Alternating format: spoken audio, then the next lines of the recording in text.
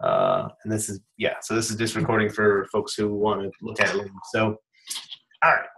Um, so I think the plan for this meeting was we had we had talked in February about you know one of the what are the things that we really need um, from this community, and one of the one of the things that we had talked about a lot was that people really want to have a sense that you know what they're doing is productive, and to have some way of develop, developing some confidence that their students are learning beyond sort of their own you know their own personal assessment of it right? And so the discussion we had was well if we want to think about assessment projects then we have to think about developing some community goals around this and so the one of the things i sent out to y'all is that link that's there we're actually doing this at my institution as a like we have a committee that's devoted to developing um, computational learning goals for our department and uh, it has sort of a uh, I would say a slightly different flavor than I'm used to doing from a curriculum development standpoint. Um, but that's, I think, because a lot of different faculty are involved. Um, but the things that I'll draw your attention to are on page, in that PDF, I think it's like page nine. So, yeah, page nine. So, we're focused right now on our majors. Um, so, we're focused on sort of the core courses for our majors and the first draft of our learning goals is on is focused on E&M one, which is the you know the Griffiths course essentially. Um, it's the statics course, and so if you look at page nine and you kind of scroll down, you know, um, to the after completing electromagnetism one, PHY four eight one, students should be able to. There's a list of a bunch of things, and um, those are not like full consensus goals. We haven't discussed those, right? Those are drafts that people are iterating on. Um, but they're the ones that are definitely the most complete. And if you keep going, you'll see just kind of like topical lists and stuff, which are not really goals. So um, the idea is that, you know, I'd like to sort of have a discussion with everyone about, you know, what are the goals that they have for computation in general? And then are there things that people think are important for specific courses? And then we can just kind of start there um, since i'm already working on this from from my institutional standpoint you know sort of like bringing this information in and bringing our information back and sort of you know acting as a mediator i'm happy to do um, or go between whatever so i think this is great when i look at the list i see things that um, we do in the comp in uh, my computational physics class um, but yeah, so I, I mean, I like the things that you guys have listed here.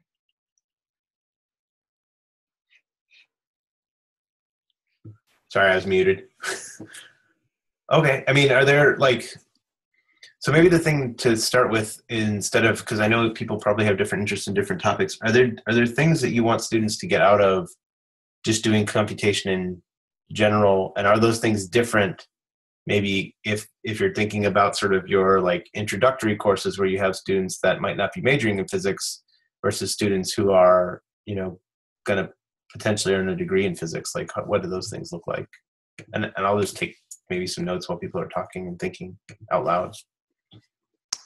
Uh, yeah i can uh, mention one thing. So i think it was in this document uh, that you've been uh, on an earlier page talking about um, the difference between uh, pencil and paper algorithms focusing on continuous um, algorithms and that's sort of the calculus or algebra you know that we're used to being especially in a, um, well really in all classes but you know um, especially in introductory physics. Uh, and so that's one of my major goals is to um, at an un- introductory level for sure. And also i mean I, have kind of done this in a upper level mechanics class to try and encourage the the discrete uh, algorithms um, both as a different way of thinking about the physics and also just like a different solution method that hmm. is sometimes more powerful or can apply to different problems can i ask you to unpack that a little more sean so when you say like um, thinking about the discrete problem, what are the kinds of things that you want students to think about when they're thinking about the discrete problem? um, so I guess I mean like just taking kinematics as an example. Um, you know, I think students um, think of that you know as just some magical formula, right? And you're trying to figure out which parts you know and and and how you can kind of combine the different equations to get to the to the end um, and sort of i mean it, it's a it's a method for relating the beginning point to the end point, right? Whether that's in terms of distance or in terms of uh, time. Um, but thinking about, I think the discrete, um, you know, computational um, method focuses on the sort of instantaneous effect of what a force or an acceleration, if you're just thinking starting at the with kinematics, how that changes the other uh, quantities. So as a step-by-step uh, process, instantaneous at each time step. Right. So it's more representative of thinking about like uh, the dynamics, right? Like what the dynamical relationship is between the forces and the uh, and the motion. Right. And and I mean it's kind of um, you know the mistake that show you know when you're teaching students both like the the mistake that i think kind of exemplifies that difficulty is when students always want to put in time instead of change in time when they're doing their computational uh, you know if you're doing like an euler method mm-hmm. um, you know so thinking of why why you use total time for the kinematics but you know dt in the in the computational Right. So why t in the continuous one Cool, yeah. Um, so someone joined us. Uh, Stephen, can you hear us? Yes, I can. Okay. Uh, uh, have you joined us before? Uh, would you be hap- uh, willing to introduce yourself to us? No and yes. Okay, great. And we'll we'll do the same. So uh, um, uh, we we've all uh, been on these calls before, so we didn't yes. start with any introductions. Uh, I'm Steve Gottlieb. I'm at Indiana University.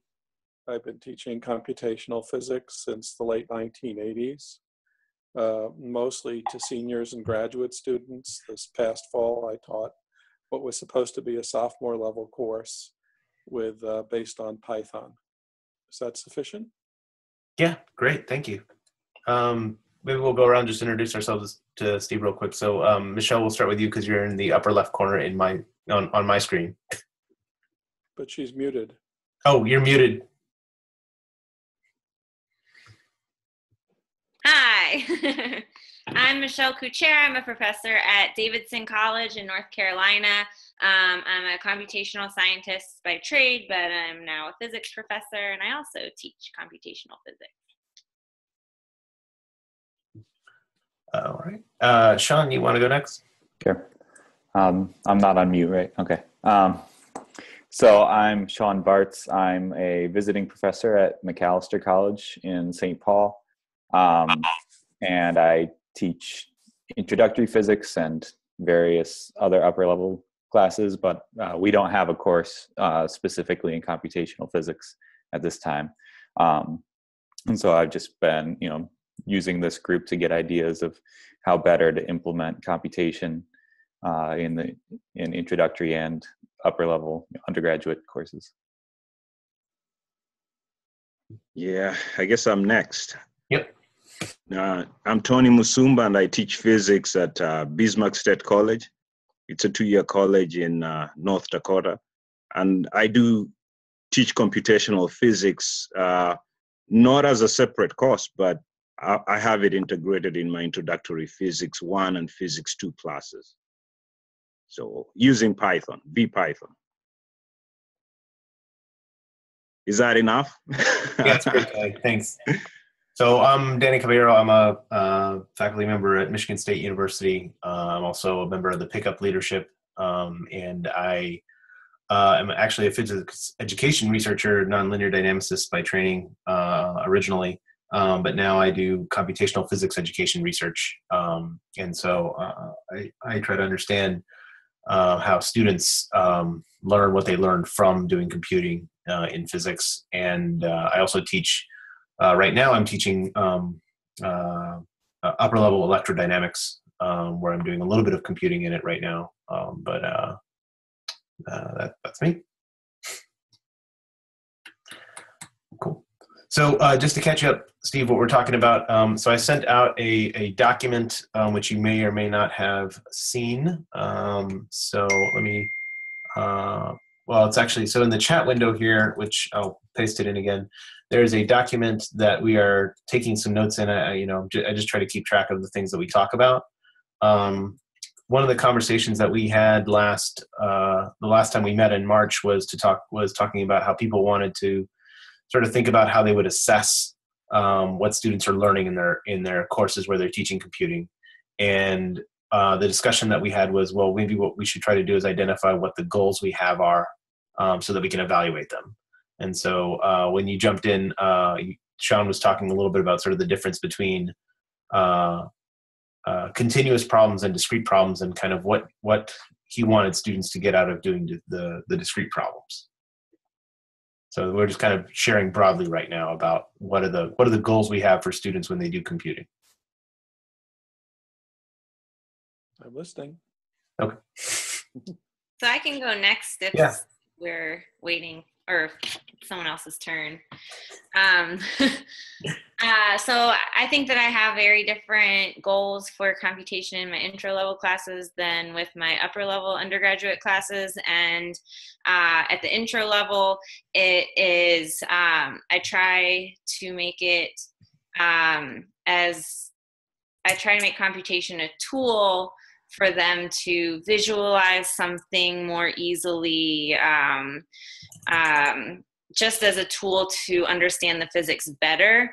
And you know along the way i hope that they enjoy doing something with python and they learn something but that's not my my goal for them.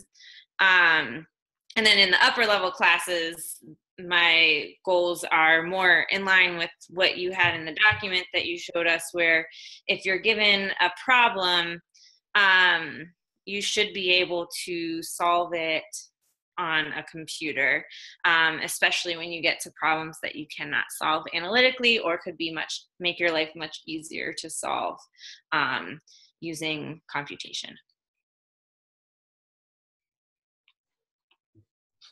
Cool. Uh, hi, Josh. Oh, you're muted. Sorry, I'm late. No worries. No worries. Sorry, you got shifted by a week. I, okay. I won't make more excuses than I already did.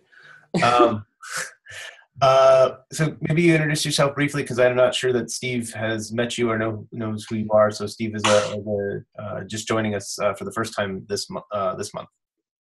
Oh sure, yeah. I'm Josh Samani. I'm a lecturer at UCLA in the physics department, and uh, a passionate pickupper.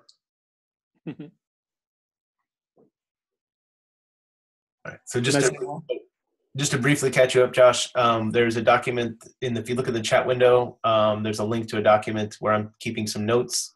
Um, we're just kind of going around and chatting about sort of overarching goals that we have for teaching computation and if those are different between, say, an intro course and an advanced course, and if so, how they're different. Got it. Uh, Tony, you want to take a turn? Yeah, I was uh, I'm still kind. I, I got a new computer, so I'm I'm messing around with it. But anyway, uh, one of the things I, I I was a little late in getting to to to that document, but I finally did get it. And one of the things that I'm not still very good at doing because I mean this idea of learning goals, I, I began thinking about it seriously uh, during the fall development uh, workshop. And so uh, you think about it and you think you're going to implement it and you look at your students and you're not so sure that they're, they're getting the same learning goals that you have and so one of the things i would like them to understand is algorithmic thinking which i mean i keep talking about it like you know you have to uh, when you're thinking about right now we're doing E&M, and then you're you're gonna cut these charges into small pieces and add them together. You know, we've done that for a long a, a whole bunch of uh, problems, but it seems like you always have to tell the students, hey, we just did this the other time, so we're doing the same thing. But that's one of the things that I would like uh, my students to to learn how to do to think algorithmically. So that that I can uh, I I echo what what you you've written there. But I'm I'm I'm really fascinated with the the stuff that says how how things can go wrong, because that's what my students uh, would benefit from in troubleshooting. You know, so.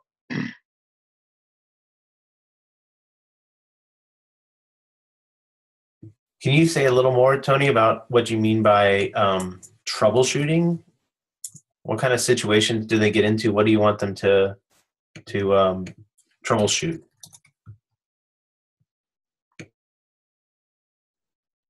Uh, of course, the easiest troubleshooting is to to use a print statement. but um, there are some things that it seems like my students are going into they're getting into the same problems over and over again. Um, uh, well we need a loop. Now uh, they know that a loop has to be there but it's not quite clear that uh, what we're doing when we have a delta t. That's that's one of the things that is a problem why do we need that delta t and even though you so i've, I've also done something lately where I, I have them do a problem by hand and then they're going to do it computationally. And surprisingly, they're very good at doing it by hand, but then when it translates to computational, then they're like, oh, I don't know how I can do that one, which uh, makes me feel like the, the algo- algorithms are not lined up with what they're doing in problem solving itself. They're more comfortable solving the problems than they are with using an algorithm to solve that problem. That's what I meant. So you mean they can follow the steps themselves, but they can't translate it into a computer code? Or yeah, that's for sure. Yeah, different? yeah.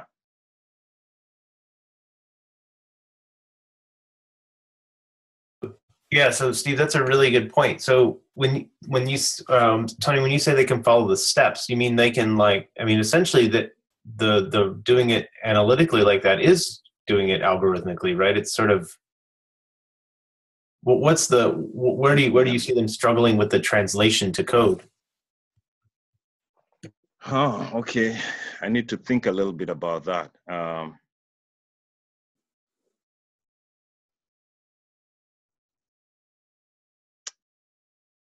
because I mean, one of the, the the recent examples that I can think about was the we were just basically trying to look at a moving proton, and so um, it's the Biot-Savart law they're using to to calculate the uh, the magnetic field, you know, and uh, so they really do need the formula for the magnetic field, and uh, VPython does it really well. You can you can do vectors really well, cross product pretty well, but um, so what was a problem was basically so you have all this stuff. I think I haven't done a very good job of uh, telling them what's more important versus what's least important. So they get hung up with, okay, now I have my force and I have uh, I have my, my my force or my my magnetic field, but then how can I vis- how can I show it visually? And how can I uh, iterate that magnetic field so that it kind of uh, so i'm calculating the magnetic field at different points in the in space. So that means they got the formula right but they didn't get the, the fact that uh, well if you're going to move this thing you really need to use a momentum update equation which we've talked about a lot so that's that's that's a little tough because we spent a lot of time talking about the momentum update and that's where the hang up comes in so uh, part of the problem is me i think because I haven't been very clear about the fact that this thing is going to be used over and over again. And so once you're done with that, you're not going to use it again. Uh, so it's it it really doesn't seem to be a big problem. It's more like I guess we we did that the other day, and maybe I'm hand holding them too much also because they can come to me and say, "Well, how do we do this thing?" Uh, so it's it's it's just that's that's a problem, and I, I may have to look carefully to see to identify where the problem is. But they seem to calculate everything perfectly until they got the B field, and then now it was just about moving this thing. That was where the hangup came in, moving the the proton and uh, calculating those B field points was a hard thing for them. So I, maybe I'll think about it as we go along. Do you think they were so tired after they figured out what the B field was as a function of space that they didn't have the mental energy left to think about the dynamics? No, I don't think so. Mm-hmm. Um, because they, they, they had already done, I mean, this is, uh, so second semester, they already did the momentum update equation in last semester, and they've done a couple of those. So it almost is like, I mean, and I'm saying this, there are a couple students, maybe three students who can do that pretty well. But the rest of the guys were having trouble doing that. And so I had to do some hand holding until they were finished with that. Uh, so I I can't quite tell. And these are these are good students, engineering students who who seem to to know what they're doing. If they're able to calculate that, you would imagine that this is a small step to, to just getting everything done. Um, but yeah, that's that's all I have. Thanks, Tony. Yeah, um, I mean, there's a lot. There's a lot in there too in terms of thinking about what's more or less important, um, mm-hmm. right? When you're when you're thinking about what you want to do in your class, and also the the other thing I heard a lot was um, thinking about the messaging that you're doing in the classroom, right? When uh, in an intro course, you're often using the same algorithms over and over again, and so how do we how do we message to students that that's that's the case, right? How does that how does that show up both in your lecturing and also in your activities? Great stuff. Um, uh, Ernie just joined us. Ernie, I don't know if you know Steve, um, but uh, maybe introduce yourself uh, if you don't mind. Yeah, um, I'm Ernie Behringer from Eastern Michigan University.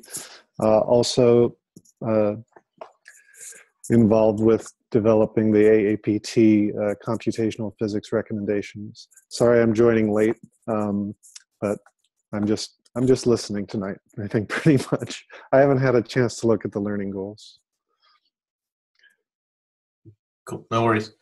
Um, so Steve, I, I, don't know if you uh, how you feel about sharing, but I mean, kind of thinking about you know someone who's been teaching computation for a really long time. Um, you know, thinking about what your what your goals are when you teach it, um, and maybe maybe letting us know, giving us some of that wisdom. Okay, I'm big on sharing, and I'm so big on sharing that what I did to remind myself was look on the web for my course syllabus. So I have course goals. Whether or not I actually achieve those goals is another issue, but here's the stated goals. One, to be able to use a computer to solve a variety of problems that arise in solving or modeling problems in the physical sciences. Two, to understand how simulations of physical systems can result in new insights and better physical understanding. Three, to be able to judge the effort involved in differing approaches to problems and to be able to select the most appropriate one. Four, to gain familiarity with error analysis and numerical approaches to physical problems. Five, to be able to quickly produce publication quality graphs. Six, to be able to write structured, readable computer code. Seven, develop computer skills that will be useful for classwork and research. Eight, to have fun.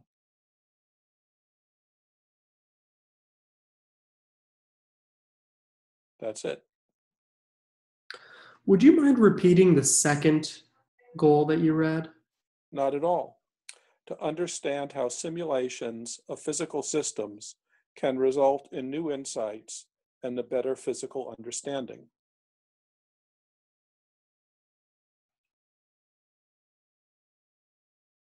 I was trying to type as quickly as I possibly could. Those you can just different. get it on the web. Oh yeah, could uh, can do you have the Google Doc open, Steve? Can you paste the link for us just in these notes? Uh, I don't know if I could do that from my iPad. I could probably Fair enough. open. Can, Um, maybe you can you can tell me what to Google and I can uh, and I can paste it in.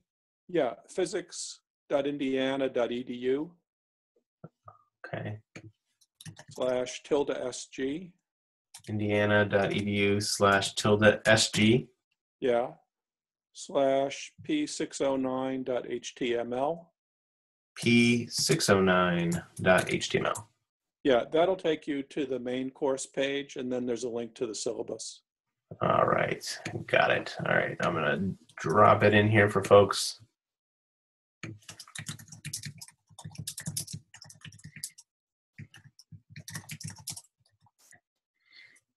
Cool. Thanks. My pleasure. Yeah. Um, so, Steve, have you ever taught just to, just by way of background? Have you ever have you ever taught uh, introductory physics courses with computation, or has your has your experience been um, mostly with physics majors?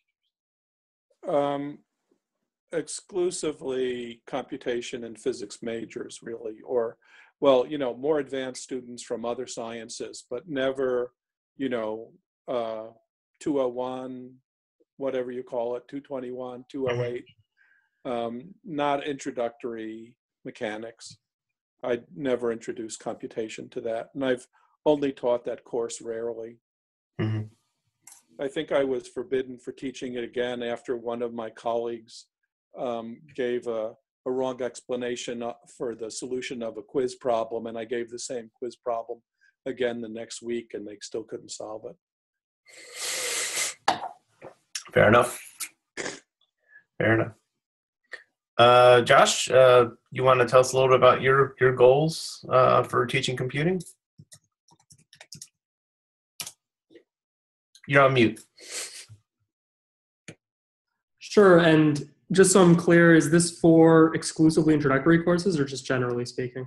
So the way we're talking about it, um, it depending on the experience. So thinking about you know intro and advanced courses, um, if they're different, sort of distinguishing between the two. If they're not, talking about the overlap, so forth. Okay. Um, so my experience is with with both. Um, I'm, I'm teaching a computational physics course next quarter at UCLA, and I introduced some computation into the introductory mechanics class um, last quarter. Um, and increasingly, my learning goals for computation and learning goals for teaching in general, physics in general, have started to merge in the sense that I've started to feel that the things that I can that my students can benefit the most from in my classes are certain things that physicists are very working physicists are very good at but that students tend not to be. Like for example scaling arguments or order of magnitude estimation dimensional analysis all of which i think fall under the category of um, having these like sophisticated cognitive frameworks that uh, these introductory students or even physics majors seem not to really have and only develop much later, maybe in their careers as, physicists or maybe never.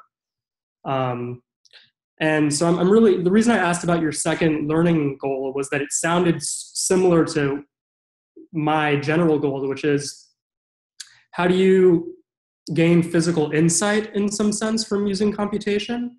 Um, and in my mind, getting gaining insight has a lot to do with these sort of heuristic things or maybe not even heuristic things but these things like scaling behaviors and um, just trying to understand a system in some simple powerful way as opposed to super complicated um, analysis so my learning goals for computation i think are very much going to be centered on the idea of how can you be confident that you know what a system is doing and in what ways can computation augment your the tools you may already have for understanding physical systems um, like dimensional analysis or scaling laws or things like that.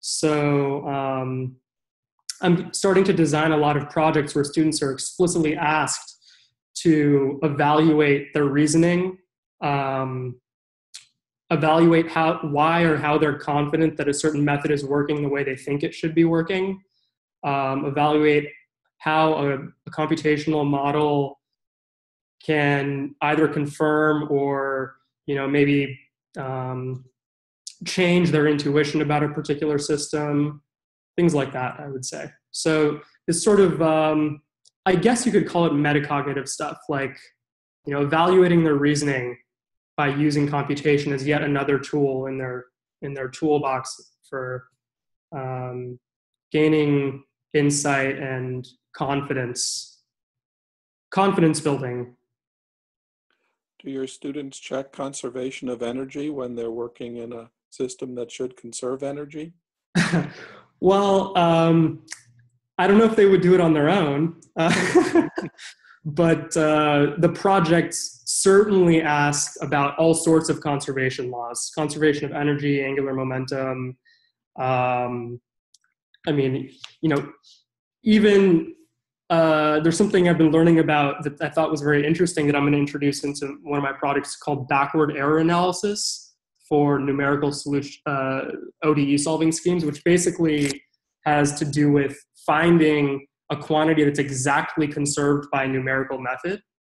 Um, it, it, and it's really interesting. It's very much along those lines um, and explains why, for example, certain integrators are so good at long predicting long time behaviors of, of chaotic systems and stuff like that. So that's totally the kind of thing I'm interested in, getting students to check things like energy conservation or check certain limiting cases or special cases, things like that.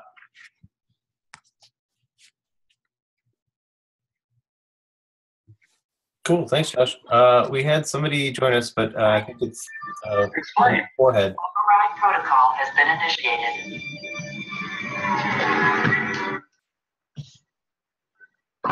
Hello.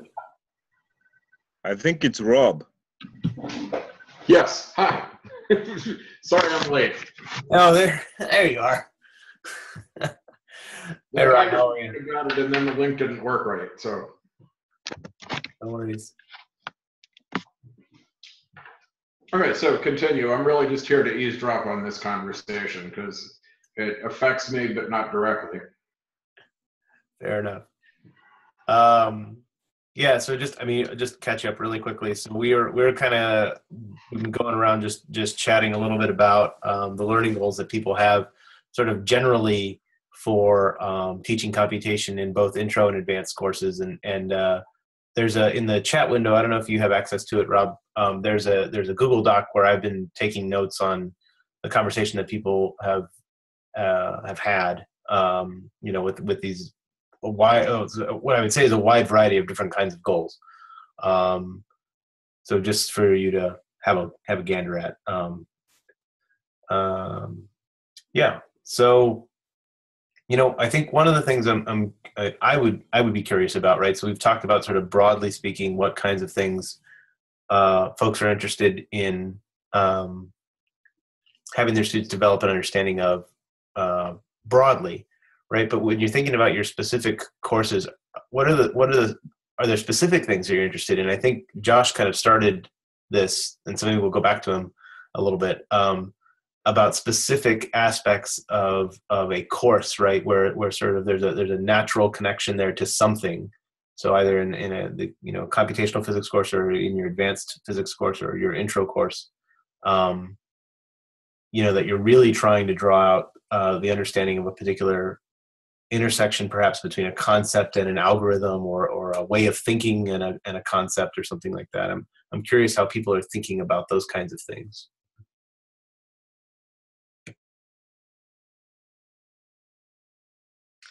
Can you say that again? I got confused.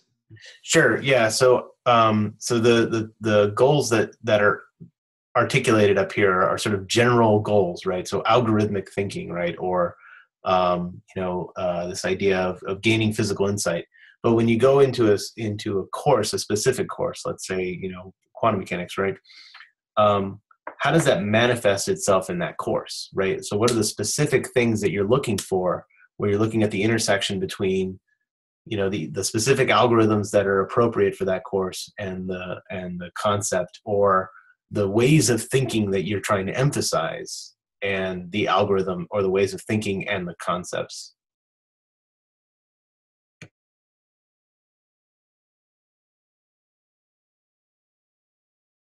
Suppose you said you wanted a student to be able to solve Schrodinger's equation.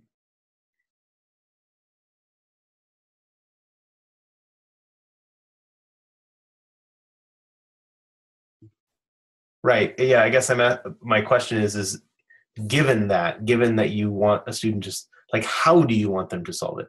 What meaning do you want them to make out of it? And why did why why would you do it with a computer? Like what what meaning are you hoping that they make out of it that is different, let's say, from you know um, just solving the eigenvalue problem? You mean analytically? I, I have a. Oh, sorry. Go ahead, Stephen. They might be able to solve a wider variety of problems.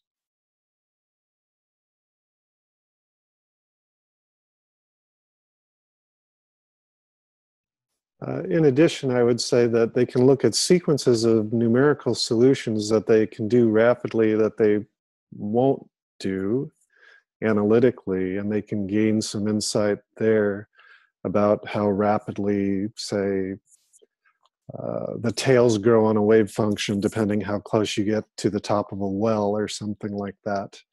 Um, so that's a kind of uh, insight one might gain numerically that might be more difficult to do or really hard to do analytically. One thing that Josh uh, mentioned earlier, which is something uh, that I think is very important, is thinking in terms of scales. And the scales actually allow you to um, determine what's important in a problem. And so I, I think that's something that you can explore a little more easily. Now, you definitely have to write the equations and identify the scales that way. However, the exploration of how rapidly things change as you change relative values is something you can do quickly once you have the model, but maybe a little more difficult to do um, generally, analytically. So that would be an example of something that computation really is good for. Yeah, I, I, think, I think that's a fantastic one. Oh, sorry, sorry, Josh. I was saying that I think that's a fantastic one because it's sort of blending this idea of ways of thinking, right? Thinking about scales with the tool, right? The tool facilitates a better or maybe an easier way of, of being able to explore scales. So that that's kind of the the thing I was sort of suggesting, and and, and Ernie uh, obviously uh, much better at uh, articulating it. So I think when I was a student, I'd do a lot of algebra, some calculus, and get an analytic answer. And I'd be too tired to actually think about what it meant. I mean, you wouldn't graph it. You just say, okay, all the terms are there, and you know, it's done. I just wanted to add to what, what Ernie said. Um, say, for example, in a planetary motion problem, which I think is something that a lot of us probably use for introducing students to an a problem where they can use a numerical ODE solver, for example. Um, you could ask a student on an exam on pencil and paper what happens when you rescale uh, the radius, the initial velocity, and I don't know, Newton's constant or something. And a student can find out that to determine that answer by plugging in some rescalings. But like Stephen said, I think very few students would really appreciate what that actually means and like when you when you watch the system evolve over time but as ernie said you, you can change all of those things in your simulation and see it happen and i think that's so much more convincing than just writing down the answer to the rescalings on a piece of paper um, at least in my experience like when when i ask students to do a, scaling argument and they get an answer uh, i never really quite feel like they understand what it meant because they don't see it happen.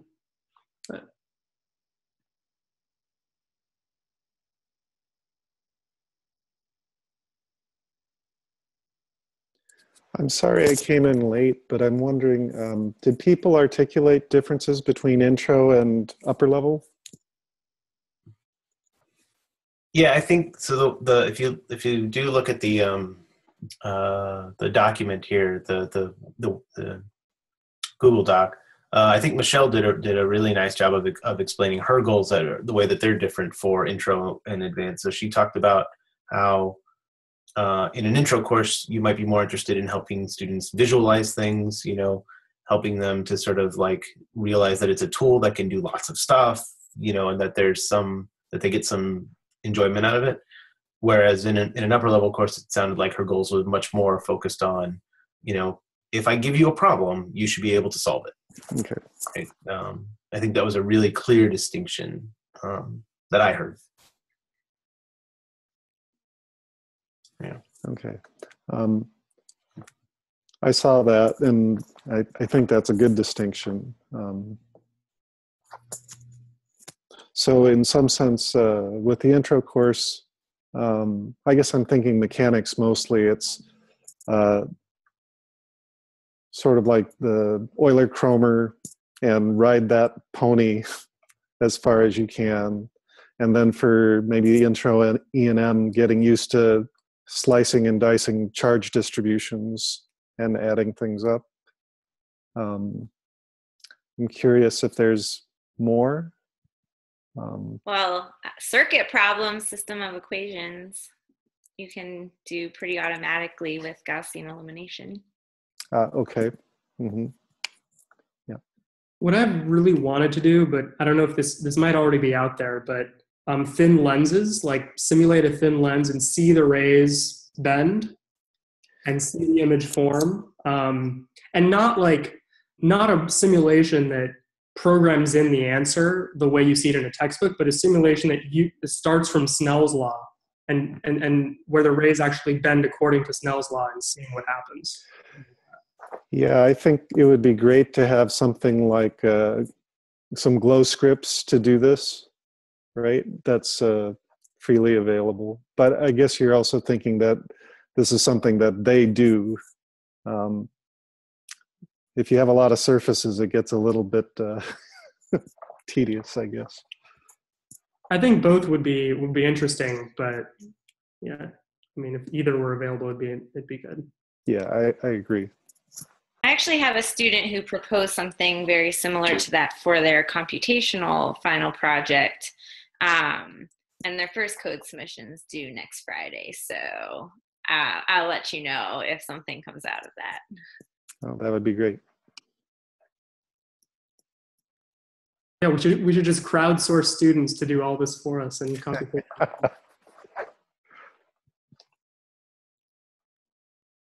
it's actually not a bad idea in in a way to to sort of develop a whole tool set. But, yeah.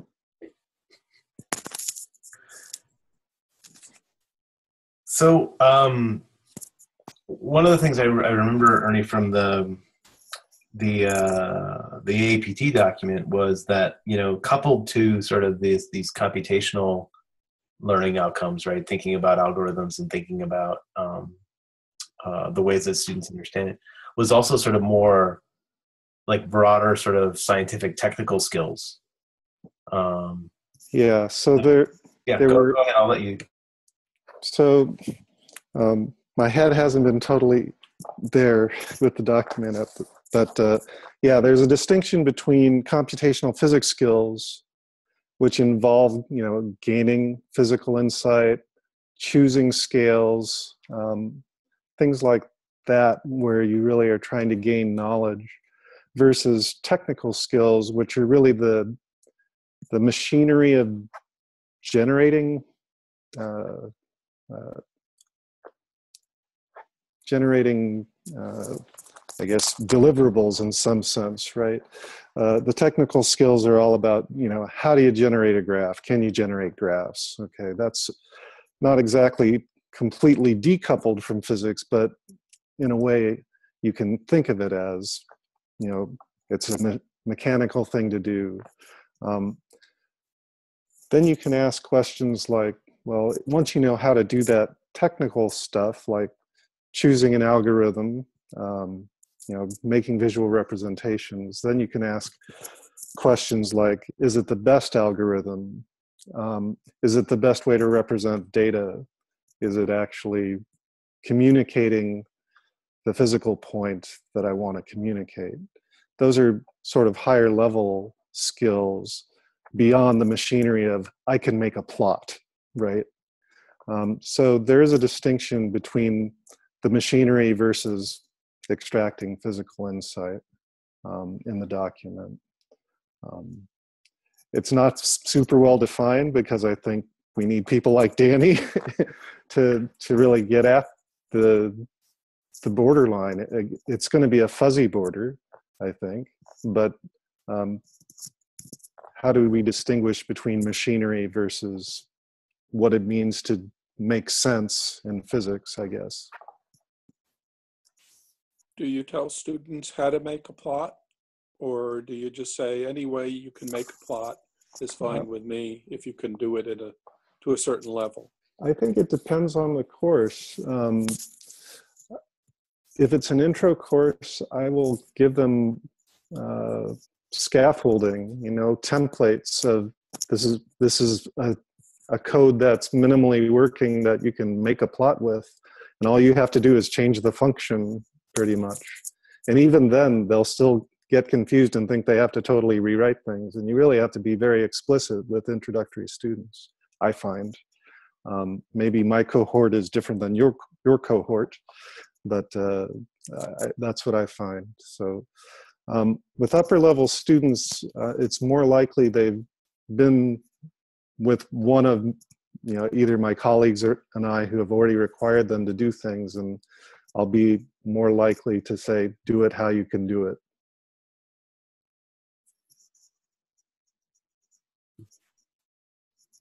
I'm I'm curious. Do other people have um, you know technical skills that they're that they're trying to get across to their students in maybe in their advanced courses? I do. Um, well, in my computational physics class, which I think is a good place for it, I have um, very specific, I guess, learning goals for the students in terms of um, technical programming skills.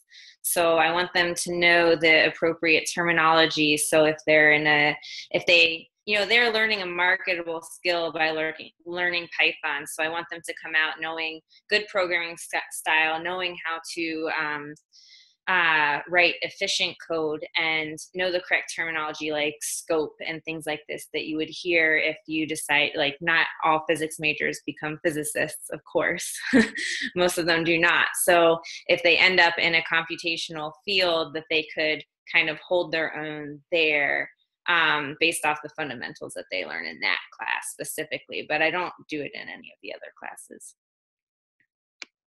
is that senior level, sophomore level? It is technically sophomore level. We have freshmen, sophomores, juniors, and seniors in there. Um, it's my first year teaching it, so that may be why. Like some people might have waited because it used to be taught in EJS. Um, we have freshmen because they uh, want a double major in CS and compute and physics. So yeah, it's technically sophomore level or mm-hmm. junior level, sophomore level. What about things like using GitHub or an IDE? So um, in my upper level E&M course now, we, we do use GitHub um, or Git repositories for all of our work. So they have um, uh, they have no exams, but they have two projects. So this is a standard like electrodynamics course, but it has computing in it. Um, and so the the projects that they turn in involve them um, submitting their work in, in a repository. I give them feedback in that repository. They you know pull down their feedback. They make changes, and and um, we've been doing that. The first project it was an individual project, so they each had their own repositories um, the next project that they're working on is a pair project, so they have a repository for the team, um, and we're going to do the same process. So we're uh, trying to bake a little bit of that in. Um, it's for for our students. This is the last course they take. This is their second semester senior level course. So um, um, you know, it, I, I don't know if you if you all had a chance to look at the the document that that we're generating here. Um, it has it. You know, this idea of uh, version control is one of the big learning goals that we have, and so hopefully that'll get baked in much earlier. Um, but it's something that I'm definitely doing in this cap this upper level course. Sorry if I missed it, but did you say that they're using GitHub just for the projects or for homeworks along the way as well? Uh, so we use it for um, so they still turn in pencil and paper homework, um, but there are homework problems that they have that have um, uh, some computing, and they turn those in in individual repositories. So each each homework pro- problem has each homework problem that has a that that is computational has a repository because I'm using GitHub Classroom. Um, but the projects are also turned in through GitHub Classroom, but then they're recurrent in the sense that they continue to use the same repository. And if you haven't had a chance to check out GitHub Classroom and you're thinking about what to do in the fall, uh, totally check it out. Um, it's free. They send you a bunch of free crap to give your students, uh, which is kind of cool. What about if I'm planning on using it in two weeks? They will set you up in uh, about three or four days. Like they can do it really, really quickly. Um, essentially, you make a request to them. Um, they just kind of check your website, I think, uh, and then just they just take your GitHub account and and and give it some new permissions. So I tried to set mine up in like three days to use this semester. Um, and I will say that how I had structured my class and assignments um, in terms of repositories was not correct for how you would do it with GitHub Classroom. So I like I thought I was going to do it, and then I abandoned it like the day before because I didn't give myself enough time to understand how my um, repository structure should be. Yeah, I, I, would say, Josh, if you're thinking about doing it, um, watch some of the videos um, because, like, there's there's some really simple things that you can do to make it easy on yourself um, that I didn't learn until probably the third week that I was using it. Um, so you can basically you can create a repository that has stuff in it that you can populate the repository for students which is really helpful when you're giving them feedback in the repositories because then you don't have to copy and paste everything in the initial repository they pull down has all of your you know instructions and a feedback document. And there's also um, some scripts online that i can point y'all to to do a very very quick like um, uh, pushing of the repository for students because each student has their own can, in principle can have their own repository so you can end up with as many repositories as you have students. So if you're pushing all that stuff up, it's kind of annoying. But there's scripts that are uh, that somebody has made available to make it very easy for you to do that. Can the students see each other's repositories? They can if you want them to. So you can deny access, um, and you can also grant them access to do that. So Classroom gives you free private repositories for all of your students if you want them, which is what's really great because that's not typically a free feature of GitHub, if I remember.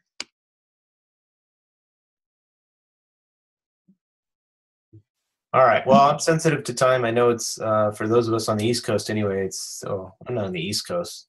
I'm on the third coast, which is the best coast. um, but it's still it's still Eastern time. Um, but uh, um, I want to thank y'all for for joining us again uh, this month. Um, I mean, it's a great conversation. I think a lot of really great stuff is coming out of this. I, I will try again to sort of spend a little bit of time distilling down all of our raw notes here into something that uh, we can look at together and sort of just keep track of everything we've been talking about. Um, and as far as learning goals go, I mean, I'm I'm happy to keep sharing, you know, the stuff we're doing locally. I mean, it like again, it pertains to us locally at state. But if that's helpful for people as they're sort of thinking about broadening their efforts and so forth, I'm happy to help do help that. Yes, please. Okay. Yep. Condolences on the loss, by the way. Condolences. What, what did we lose? Did we lose something? Is weren't you guys in the tournament and lost to someone? All right. Was it hockey, basketball, the other sports ball? Basketball. Wait, there's sports puck and there's sports ball. I know there's a difference between the two. So, anyway, You lost them all. what's Sean is pissed right now.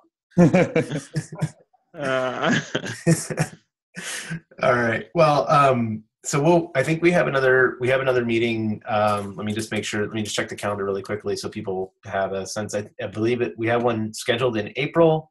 Um, it is actually two weeks from now. Uh, so April the fourth. Um, I think uh, we'll we'll probably have a little bit of an internal conversation around um, you know how things went today and what we think to have as a topic for that April meeting. Um, but if you have particular things you're interested in, um, that would be great. We could also, you know, one thing we could always do is we could just we could do a roundtable share of what people have been doing this semester, um, which is always nice uh, because you have to see some specific things. So um, if folks are interested in in that, um, we can just be in touch on Slack and see see what people think. Cool. And I, uh, as one last thing, um, I was wondering if we could, um, if this list of uh, learning objectives would be a good thing to share publicly on the on the PICUP site. Um, you know, so if if either people have syllabi they want to share, Oh yeah. just lists uh, that that can go somewhere on the uh, on the PICUP um, you know, public site. Yeah. So if, if people have just another two or three minutes, um, I, I'll maybe I'll just give you a little update on on some of the stuff that we are working on um, on on our end anyway. So um, one thing that we really want to do is is we want to start highlighting individuals that are doing stuff. Um, so Marie and I are working on a um, essentially a questionnaire um, that we would we would give to people to fill out. Um, and then there those questions would be like you know a little bit of demographic information a little bit of sort of your your personal goals for teaching computing a little bit about the ways that you do it and the constraints you have at your institution you know giving people some user stories if you will. Um, and those though that thing we think are both going to be um, highlighted on the website but also i don't know i'm, I'm assuming some, most of y'all received like the the new sort of mailchimp email. Um, so you know the sort of like more graphical you know i don't know it's it's not just plain text like it has been lately. Um, uh, we are hoping to to highlight somebody once a month in the same way that sort of AAPT does right? So you know putting those user stories up and then sort of sharing them out through this mailchimp to the broader PICUP community. Because right now we actually have about 250 people that are signed up for the um, PICUP community even um, you know that are getting sort of the the the uh, contact uh, contacts every every you know couple weeks. And we have a sort of an open rate of about 30% so you know you're talking about 80 people or so that are reading these things. Michelle sorry. Yeah don't think I'm on this email list. How do I how do I sign up for that? Uh, I can I can double check to make sure that you're on it. Um, basically, all I did was I took the Google mailing list that we have and uh, dumped it into Mailchimp. Um, Okay. You may need my Davidson email address. ah, that might be it. I was All right. straddling jobs when I was at the PICUP workshop. Okay. Yeah. Let me see if I I can look for it in a little bit uh, and see what I have. Um, I can send you an email. I have a Gmail account for you on this mailing list. Is that- okay. So yeah, just send me a note and I'll make sure to update it for you. Okay, thanks. Okay. All right. Well, thank y'all very much again. Uh, I know uh, evenings are difficult for folks, so I appreciate you spending the time with us. Thanks, Danny. Thanks. Hold on. Thank you. Yeah. Bye. Bye.